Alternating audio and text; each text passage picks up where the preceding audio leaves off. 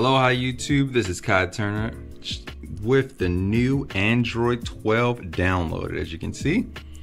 And, and I'm gonna show you how to get this on your Pixel device quickly. This is the updated settings menu that you can see for the big icons and anything you go into, like let's say battery for instance, it has an accent color. I'm in uh, dark mode so you won't be able to see it as much, but we can turn it off. As you can see, all apps have a kind of background uh, theme accent color with the, the bottom half. Pretty cool. Now let me get into showing how to download this on your Pixel device.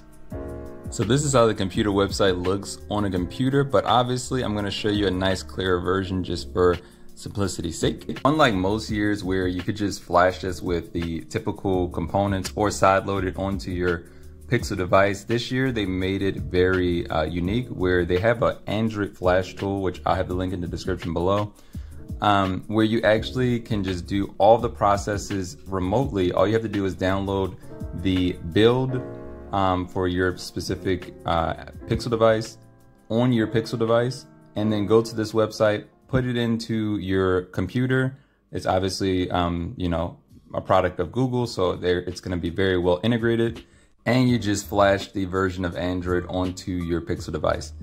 It's very simple. All you do is connect your USB device, you select the software you want to install, which is going to be Android 12, and then install it onto your device. This is how the screen looks when you get into it. As you can see, you have to enable developer mode, which is very important, which obviously um, you're going to need to have developer mode to do USB debugging and OEM unlocking.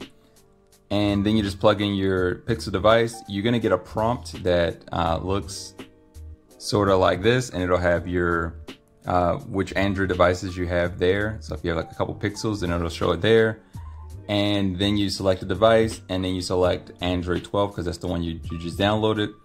And then you just follow the prompts. Quite simply, it'll actually walk you through all of the steps because since Android is made by Google and Google is making the program, it's super streamlined and straightforward. So you don't have to do anything with the device at that point. Just do everything on the computer you will need a computer for this if that wasn't already obvious because i know somebody in the comments is going to be like oh we'll, we'll yeah you need a computer.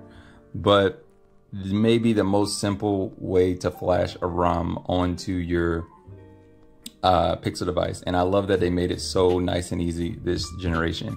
So follow these steps and then you're going to get to the next screen which i'm going to show you now. This is how it looks when it's been successfully updated and then on your device, it's gonna say welcome to Android and actually give you a little welcome screen as you can see right here. Nice and cool looking. It's gonna activate your network and basically start you off on the process of updating your phone in Android 12. If you've updated firmwares before, then this should be pretty streamlined, but if not, then you just kind of work through your way through the prompts uh, from copy apps to, you know, checking info, logging into your Google account, and so forth. For you'll see some new prompts that are exclusive to Android 12, um, but for the most part, just the cool animation and walking through the guide is really cool in this new generation of Android. This is actually the first one that they, they gave it a number to, and in the settings, as you can see, it says Android S.